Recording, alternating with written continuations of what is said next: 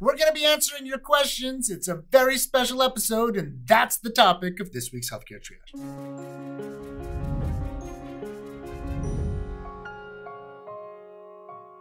We're joined today by Dr. Tiffany Doherty, who is a PhD in neuroscience and joined the healthcare triage team last July. She's been helping to write episodes, uh, produce episodes, do all kinds of stuff. Tiffany, welcome. Thank She's you. She's also going to be reading your questions. That's her job today. Yes. Okay. Nice to meet you all. All right. So first of all, a lot of people ask this. Um, Mr. Big Noodle has asked it a couple times. Okay. So we have learned a lot about the dangers of smoking from observational trials. So why is it that, especially here at Healthcare Triage, we're always saying that you cannot do the same with nutrition and disease? Okay, well, first of all, with some things, it would be unethical to, to do a randomized controlled trial. Smoking is probably one. But it's Of important to know that a lot of this is because some of the other things we've talked about, the absolute value of the risk on top of the you know relative risk. And even here, the relative risk, a lot of times when we're talking about something in an episode and we're saying, well, does this really matter? The relative risk is like 1.1, meaning that the overall risk increase is maybe 10% in a relative way. So what's a relative risk if there's no risk at all? It'd be one. So it'd be the same. So one is the same. Yeah. The difference is that for smoking, for some things, it's like smoking, you know, pack a day or whatever, has a relative risk of like 150, not 1.2, but like your risk goes up by like 15, what is that, 15,000%? I don't know, but it's it's 150 times what it was, not 1.2 times what it was. It's so massive that we can't possibly ignore it. It's just so big. And so then the absolute risks are like so much larger that even in an observational trial, we're so concerned because this thing is so massively large that we're like, this is this really looks like it's real. Like it, it can't even, no matter how much controlling you do for other things, it's a massive, huge, super important risk factor. So what are some examples of the ethical problems we could have? Well, when you have a risk that, that that that's that's that large, it becomes then problematic to say that we're going to randomize people to then check to see if it's true just because we want to be sure. Um, and it's also the fact that like smoking is incredibly addictive. So if we randomize people to smoke for the purposes of a trial, they may not be able to stop. And it's not like eating. Well, eat, I guess we could even make some of the argument, but this is clearly super duper addictive, and it would not be right to start people on it with the idea that they could just stop later. And then what about ethical issues in like the nutrition? Why can't I take a group and say I could make them eat steak every day all day? So you can't make them. What you can do is try to ask them to. Um, and what happens even in trials when we ask people to, they don't stick to the diet. yeah. Um, and so it's very hard to get people to say, we're only going to eat meat for three years or you're going to only eat vegetables for three years and then make sure that they do. The one way that we can do that, and unfortunately has been done, is some of these studies have been conducted on institutionalized individuals um, where people don't get to control what they eat. But then that's also um, how ethical is that? Especially if you know if they are prisoners, it's unethical in the sense that like, is it really right that we use prisoners as researchers because we can? But oftentimes they do it on institutionalized individuals who are either sick or have issues that make them unable to properly consent, and that's unethical for all, a whole bunch of other reasons. Someone asked, why do we discuss results from observational trials in episodes like sleeping, but then we really kind of demonize them so much in the nutrition studies here? So again, it's important to think about the the relative risks and the absolute and the absolute risks, and then also to talk about you know how much of a change are we asking people to make, and what benefit are they going to get versus what are the harms. So with respect to diet, the problem is that we've conducted massive, huge studies over and over and over again. We have a pretty good sense of what the absolute risks are, and they're very small. And yet people come out with pronouncements and say everyone must do this for health. That's overreaching. On the other hand, it's probably fine to say, well, it looks like people who sleep more tend to do better for this or that reason. Um, you might want to think about sleeping more. We don't pass guidelines saying change the world so that everybody gets eight hours sleep. We say you might want to consider this personal change. And if the benefits turn out to be good for you, great. And if they don't, I'm totally fine with that. I'd be fine if that's how nutrition recommendations went out too, but they don't. They come out with these massive, like huge, you must do this versus, well, maybe with this. I would also say that the sleep studies and some of the observational stuff, they're small and we're still in the realm of like, we're not sure. Let's go follow this up perhaps with some RCTs or by doing bigger and bigger and better studies. And we've been seeing a lot of that with respect to changing school start times for reason. And we're following up that with better and better quality studies to try and get at what does this actually do. Um, when we do that a lot of times with food, it it goes against what we think we're going to see with the observational data. So far with sleep and the sleep times, the stuff we're getting in better and better high quality studies backs up what we're seeing in the observational data. And so we're more inclined to believe it. Okay. Sounds great. Okay, so vitamin D. I know you really love vitamin D. Okay, yeah. Um, so someone, actually a few people wanted to know, if vitamin D supplements don't work, why does my doctor prescribe them? And then someone else also wanted to know, um, don't you need it if you never see the sun? So the first question was then why look why are doctors still prescribing? I'd ask them? him. I'd ask your doctor why he or she is still prescribing because I don't know. Um, now, part of it is like, let's be honest, doctors are people too. And uh, lots of people believe that vitamin D works. And, you know, this is a hugely contested thing, even in the medical world. You're getting my read of the literature, which I will argue and back up. And should your doctor ever come and be sitting next to me, I'd have this debate. I think I'd win it because the evidence behind it is pretty clear that for the vast majority of reasons people are using vitamin D, the evidence just isn't there to support it. Okay. Um, having said that, if there's a reason and your physician can explain it to you, and maybe it's just a belief, and you should fine. Like the, the risks are often low. I'm not here to yuck anyone's yum if they if they truly want to do it. But I would push and ask because I don't think the evidence is really there. Okay. The second question was about never seeing the sun. Yes. Yeah. That, yes. If you never see the sun, then there could be an argument. But even in those cases, it's not necessarily clear that, you know, still that taking vitamin supplementation is the cure or going to fix that problem in the way that we would like it to because we randomize we do rcts of supplementing people with vitamins. And even in places where different climates and different amounts of sun we're just not seeing big differences if any in the people that get supplemented to make us think that it's such a good idea. Okay. So tristaticus um, on one of our YouTube videos wants to know if you would recommend sports drinks for feverish symptoms or athletic performance. Well, sports drinks for fe- uh, I mean, I'm trying to even think like, well, I thought they were going to. Say. So look, if you're dehydrated, you should hydrate, and sports drinks are fine. They're just not proven to be really any better than then lots of other stuff, including water, unless okay. you're massively dehydrated. I mean, like clinically dehydrated. Um, uh, even then, I don't know, but for feverish symptoms, I'm like, it's not going to help with a fever. It's not going to help with chills or aches or anything else. That, I mean, it's not going to do any of that. It's just really about hydration. And so I don't know. Just drink some water? Yeah. For the most part, usually okay. you're going to be fine with water. What okay. was the second part of the question, though? Um, athletic performance. Oh, yeah, there's no evidence for that.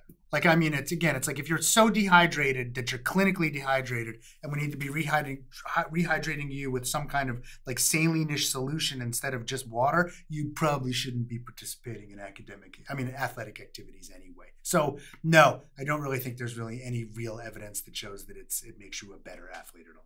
Okay. Scotty, awesome sauce wants to know why he was told that he does not have celiac, but that he should still avoid gluten. He does feel a lot better avoiding gluten. His diarrhea went away. He can focus. So if gluten sensitivity doesn't exist, then why has going gluten gluten free helped him?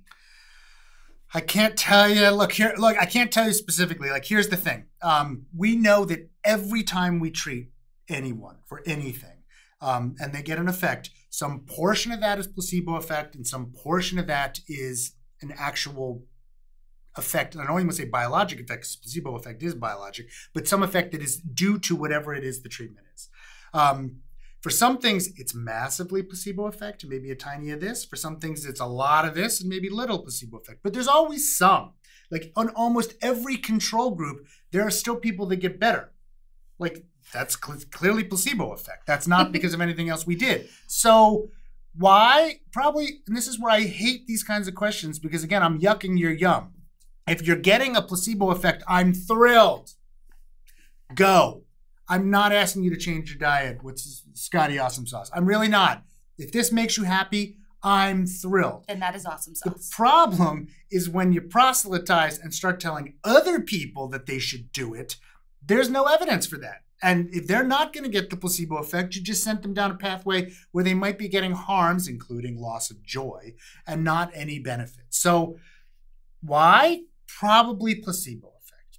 That's the truth. Now, I can't be guaranteed that 100%, but again, if you're happy, I'm happy. Feel free to keep doing it. Okay, Robert Guthrie on Facebook has been looking around for reliable information on blue light filters and is curious um, what your thoughts are on the literature on evidence that blue light from screens is damaging to a person's eyes. Does it affect sleep? And then using any kind of adjustments, so like um, changing the blue light with filters or glasses, is that helpful? So there are some studies that will show a benefit. There are even some systematic reviews that gather studies together and will argue that there is a benefit, but they all have caveats in the, the, in the sense that the studies are not terribly high quality or large or with long-term outcomes or anything else. So this is another thing where I'm like, go ahead. The cost is minimal. Probably doesn't have much in the way of harms. And if you feel like it's making a good difference in your life, that's fine. But again, I would not, I would caution that we shouldn't start telling other people to do this because the evidence to back it up is pretty slim. Um, and again, you can find a study. It's just not enough to say, like, this is how we should actually tell people to behave. Okay. Okay, Jeff W um, says there's a growing movement at the healthcare facility I work in to stop wearing neckties. The thought is that they can spread germs and disease as they are never cleaned. Are neckties spreading contagion, or are people just looking for an excuse to dress casual? No, no, I think that there's a there's a really valid concern there. Um, it's the same reason that white coats are not such a great idea, yes, but we still use them, coats. and people argue about that all the time. Neckties are just another wear place to collect stuff in between. We probably don't wash them enough and so they can. No, I think this is a totally valid point. Um, right. Having said that, it's very hard to break societal norms. And if you're asking like why I'm wearing a tie, it's because I'm not tech, I'm not seeing patients most days of the week, and my office or work environment has not been as enlightened as this, and probably still thinks that this is the way the professionals dress. Um, but that's a societal construct, and it was not designed for health reasons. Allison McWaters was asking us on Facebook. She was looking at a book on Audible, and her BS alarm bells are going off. Um, I really love BS alarm bells. Yes. We have those at Healthcare Triage all the time. Um, she was wondering what your thoughts are then on this book. Um, you have actually written about this in your book. Um, it's called Grain Brain. Oh, yeah. The surprising truth about wheat, carbs, and sugar, your brain's silent killers. Yeah. So before you answer, just in case anyone doesn't know about this book, I just want to read the Amazon description. Okay. So, a renowned neurologist exposes a finding that's been buried in the medical literature carbs are destroying your brain. Even so called healthy carbs like whole grains and whole plant food starches can cause dementia, ADHD, epilepsy, anxiety, chronic headaches, depression, decreased libido, and more. Also, statin drugs might be erasing your memory. Oh wow, that was thoughts? a tangent. That was a so look. The, my the big issue as soon as they say cause, like they're not doing randomized controlled trials in human beings to see if anything these things are happening. Look, we've covered so many episodes, and if anyone has read my book, yeah, I'm going to disagree with that. I don't think that I don't think anyone's been bearing the evidence, and I don't think that it's shown in any way that carbs are destroying your brain. Again, carbs are necessary for life. I mean, glucose is a necessary thing to live, um, and uh, every other animal model exists where they do consume you know some kind of sugars. Now granted they're not all eating refined carbohydrates and making bread. Um, we do that but we've been doing that for a long time without any major decrease or terrible outcome. In fact all of those things that you described are almost the it's the best it's ever been in terms of our ability to treat those things and, and keep people from getting them for a long period of time. So trying to argue that somehow, you know, our ability to eat bread uh, has been horrifically bad for the human race and resulted in terrible death and illness, it's the evidence just is not there. Okay, so I think we should give our kudos to Allison for having yes. excellent BS. Yes, I yes, I'm not endorsing. I'm not endorsing. Okay, okay. This next person um, wrote in with our with our viewer question doc that we had up a while ago, and they under their name said, "I will keep this anonymous." So do they might feel them? a little embarrassed. Oh, I see. Like, do I know? Okay, go ahead. No, no. It seems like they think their question is silly. Okay. Um, they actually said this is probably a silly question, mm-hmm. but I have nowhere else to ask. Okay. That's fine. it's what we're here for. Does the amount of cow's milk you drink as a kid influence how much breast milk you can give to your baby? I'm I, am i am trying to even think what the mechanics of this are. So how much So how much cow's milk that a woman drinks I believe influences how much milk she can make? Yes. So No. the woman as a child. No, as a child, no, no, not not even as an adult. No, no, I, I know of no Oh. link at all. Okay. None. Okay, so Troy on Facebook wants to know if it's better to cook vegetables or eat them raw, and if that is the case for only some vegetables, which ones? Um, how do you like them? That's really probably the only thing that matters. Still I- get the same nutrients if well, you have a steamed I mean, versus a raw. this is again where it's like you probably could do some study which can show some statistically significant difference one way or the other. But I swear to God, if you're eating vegetables, we should only be thrilled, not be concerned about how you're preparing them. I that's the win. More vegetables, good. I don't. I'm not going to argue that one way of preparing vegetables is bad. You're doing it wrong if you're not doing it that way. There are raw vegetables I enjoy. There are cooked vegetables I enjoy. It's all good. Plus, if Raw vegetables are not. I mean, cooked vegetables are sometimes better because they've been prepared with seasoning that makes them taste good. That's what makes stuff taste good. And so, you know, don't force people to eat raw vegetables if they don't like the taste and they're more likely to eat cooked vegetables. I'd rather them eat vegetables. what if I bread and deep fat fry my broccoli? Mm, It's you're now making it slightly less good than before, but Still better still eating my broccoli, broccoli? I suppose. I mean, I'd rather you you didn't try to make it worse. Um, but I'm trying to think like what a what a good analogy of this is. Like I, I wouldn't turn down deep fried you know vegetables if they were delicious, but it's probably not the way you want to eat them every day. Okay. Nati from Israel wants to know Is wearing face masks in public places, such as trains, something that results in better health outcomes? Well, okay. First of all, it depends what you mean by better health, better health outcomes, but it also depends why and how you're wearing the mask. Like a lot of people wear the mask in certain cultures because they know they could be sneezing or making other people sick. Fair In that case, yes, because like if you're containing the droplets or anything else you might spray all over the place, that's being very polite. Like sure. If, however, you think you're going to prevent yourself from catching something, that's not as likely. Now, it might be as likely if it prevents you from touching your face, Mm, but you're probably touching the mask and then making the mask infected, and then you're now keeping it right in front of yourself. So I don't know about that. So in, a, in the sense of preventing yourself from getting ill, probably not a lot of evidence. Preventing others from getting ill, yes. Doctors wear masks when they operate, not to protect themselves. Well, sometimes you got you could argue from blood in certain instances, but for the most part, it's to keep them from infecting the sterile environment. Mhm. That's why doctors are wearing masks to prevent them from transmitting, not as much to prevent the other direction. A little bit, but not as much. okay. Um, same thing out in, in the world. If, if you're putting on a mask because you're sick and you don't want to get others sick, good on you. If you're putting it on because you're panicked that other people are going to get you sick, not really Not a lot so of evidence. No. But in fact, that's the biggest issue. Is I think I mean there's a run on like these masks at the moment yes. because everyone's worried about coronavirus. Very few people are thinking I have coronavirus and I want to make sure I don't transmit it. They're all panicked. I could get coronavirus, and if I wear this mask, it's going to protect me. As I wrote and I've said, and we've talked about before, not a lot of evidence for that. Okay. All right, we probably probably should stop. Although I see there's a lot more questions there. Keep them coming. We'll do this again in the future. Thanks for watching. Hey, did you enjoy this episode? You might enjoy a previous episode where John and I answered your questions that you sent in. While we've got you, also consider liking and subscribing down below. Going to patreon.com slash healthcare triage, where you, like our research associate Joe Steffens and our Surgeon Admiral Sam, can help make the show bigger and better.